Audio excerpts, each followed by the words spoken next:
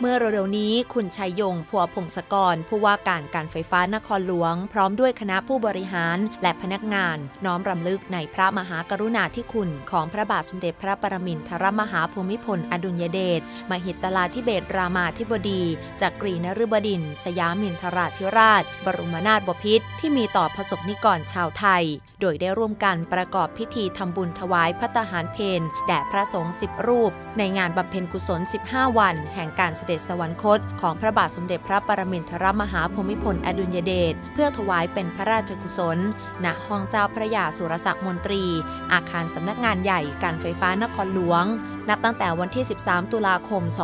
2559 หลังการเสด็จสวรรคตพระบาทสมเด็จพระปรมินทรมหาภูมิพลอดุลยเดช คณะกรรมการการไฟฟ้านครหลวง พร้อมด้วยผู้ว่าการ คณะผู้บริหารและพนักงานกฟน ได้ร่วมลงนามไว้อาลัยแด่พระบาทสมเด็จพระปรมินทรมหาภูมิพลอดุลยเดช เบื้องหน้าพระบรมฉายาลักษณ์ พร้อมทั้งมีการตั้งจุดให้พนักงาน และประชาชนลงนามไว้อาลัยแด่พระบาทสมเด็จพระปรมินทรมหาภูมิพลอดุลยเดชที่อาคารสำนักงานใหญ่ รวมทั้งการไฟฟ้านครหลวงเขตทั้ง 18 เขตนอกจากนี้ทางกฟน ได้ตรวจความพร้อมของเจ้าหน้าที่รวมถึงการจ่ายไฟ